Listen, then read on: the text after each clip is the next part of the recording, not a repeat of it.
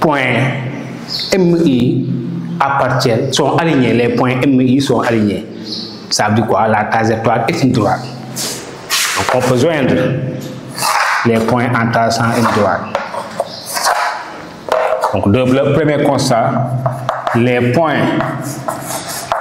sont alignés.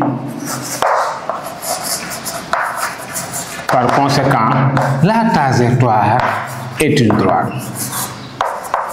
La trajectoire est une droite. La trajectoire est une droite. Maintenant, on va calculer la vitesse instantanée hein, du mobile autoporteur. Alors, ici, on va calculer, on va calculer VI, I égale à 1, 2, 3, 4, 5, 6, 7, etc. Donc ici, V1 égale à quoi? M0, M2 sur 2 taux. Je vous ai dit que la, vitesse instantanée, on divise par 2 taux. D'accord Donc ici, application numérique, V1, M0, M2, c'est combien? C'est ça, c'est 2 cm, ça c'est 2 cm, c'est 4 cm. C'est 4, 10 moins 2, je convertis. Sur 2 taux, 2 fois taux, c'est combien? 20 millisecondes. 20 millisecondes, c'est 20, 10 moins 3. Sur 2 fois 10 moins 3. Et ces élèves, ici, on a une échelle 1 sur 10. Ça veut dire quoi? Les calculs vont, les calculs vont être multipliés par 10. Échelle 1 sur 10. Si on, avait une échelle 1 sur 5, on multiplie par 5. 1 sur 2, on multiplie par 2. 1 sur 4, on multiplie par 4. Maintenant, on calcule V1, dans ce cas, on aura 4, 10 moins 2 fois 10 sur 2 fois 20, 10 moins 3. C'est-à-dire, aidez-moi à calculer. En calculant, on trouve 10 mètres par seconde. V1 égale à 10 mètres par seconde. V2, V2 égale à M1, M3 sur 2 taux. M1, M3, c'est combien? C'est 4 cm, 4, 10 moins 2 sur 2 taux, 2 fois 20, 10 moins 3 fois 10. On trouve aussi 10 mètres par seconde. V3 égale M2, M4 sur 2 taux. M2, M4, c'est combien? M2, M4, c'est aussi 2 cm. C'est 4, c'est 4 cm. 4, 10 moins 2 sur 2 fois 20, 10 moins 3 fois 10 égale aussi 10 mètres par seconde. C'est-à-dire, qu'est-ce qu'on constate? On constate ici V1 égale V2 égale V3 égale à V4 égale à V5, etc. Donc ici, en calculant, on peut avoir V5 égale à M4, M6 sur 2 taux. On aura combien? 4, 10 moins 2 sur 2 fois 20, 10 moins 3 fois 10. Là aussi, on trouve 10 mètres, 10 mètres par seconde. Constat.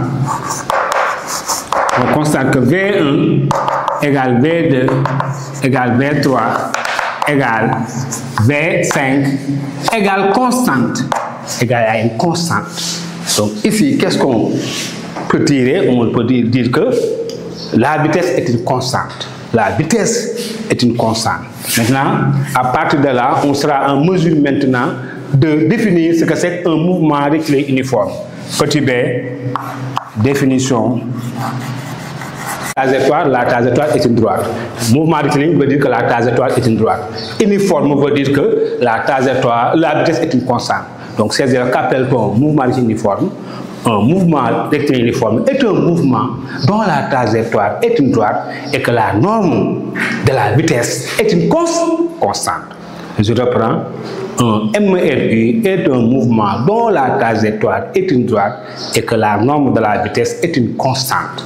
Une troisième et dernière fois, un MRU est un mouvement dont la trajectoire est une droite et que la norme de la vitesse reste constante au cours du temps. C'est ça qu'on appelle MRU. C'est bon.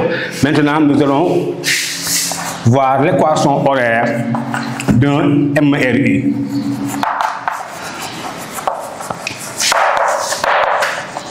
L'équation horaire d'un mobile animé d'un mouvement rectiligne uniforme. C'est quoi l'équation horaire?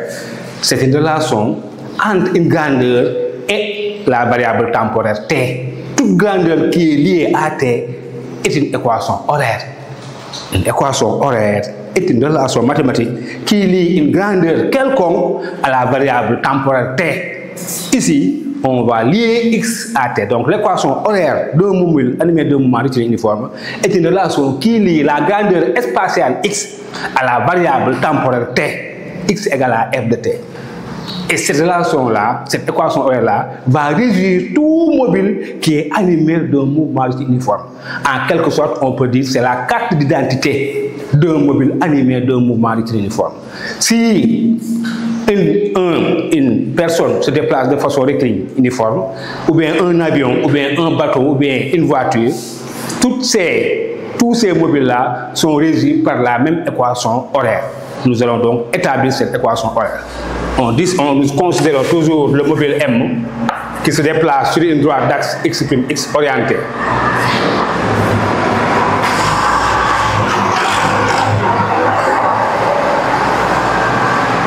En instant T0, le mobile est repéré par le point M0. En instant T, le mobile est repéré par le point M.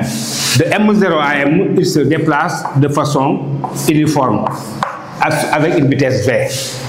Ici, à t égale 0, d'abscisse x0. À l'instant t, son abscisse est x. Par conséquent, ces élèves, après la v, v égale à m0m sur t moins t0 égale à x moins x0 sur t moins t0. Donc la vitesse égale à x moins x0 sur t moins t0. Je vais croiser, on aura x moins x0 égale à v facteur de t moins t0. Et dans ce cas, nous aurons x égale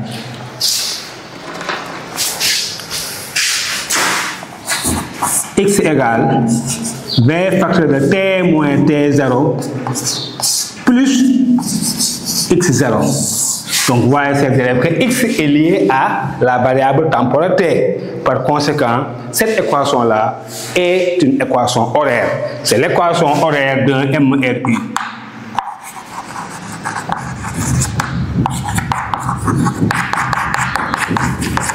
Donc, ces élèves, c'est une équation horaire qu'il faut bien se familiariser et bien comprendre. Pourquoi? Parce que dans beaucoup d'exercices, vous, allez utiliser l'équation horaire pour répondre aux questions. Je vous, vous l'avais dit depuis le début. En mouvement, les questions que l'on vous pose, c'est à quelle date se trouve le mobile, à quelle position il se trouve. Donc, cinématique, c'est où et quand? Où se trouve? Quand est-ce que le mobile, les deux mobiles se rencontrent? À quelle position la rencontre a eu lieu? Pour répondre à de telles questions, il faut établir l'équation horaire de chaque mobile. Donc, c'est ça. Donc, c'est cette relation-là qu'il faut appliquer. Et on ne va pas vous demander de démontrer. Donc, conseil, on retient. Dans le cas d'un mouvement rectiligne uniforme, tout mobile est régi par cette équation-là. x égale v facteur de t moins t0 plus x0. Que représente x0 ces élèves? X0 c'est quoi? C'est la position initiale du mobile. Initiale du mobile. C'est une position en mètres. C'est-à-dire que ici, c'est la position initiale par rapport à l'origine. Par rapport à l'origine. Parce que vous avez une origine. Dans si on est en phase d'un exercice de cinématique, on détermine d'abord l'origine des espaces et l'origine des dates. X0, c'est la position initiale du mobile par rapport à l'origine. Si initialement le mobile est à l'origine, ça veut dire quoi? X0 égale à 0. Si le mobile est à l'origine, X0 égale à 0. Maintenant, que représente X? X, c'est la position Monsieur Tal, professeur de SVT à l'Institut Mbakemat. Monsieur Diop, professeur de physique-chimie à l'Institut Mbakemat. Et Monsieur Mbakemat, professeur de maths, vous souhaite la bienvenue dans ce programme d'excellence. Envoyez un message sur WhatsApp au numéro indiqué pour avoir une fiche de renseignement et consultez notre chaîne YouTube Mbakemat et abonnez-vous.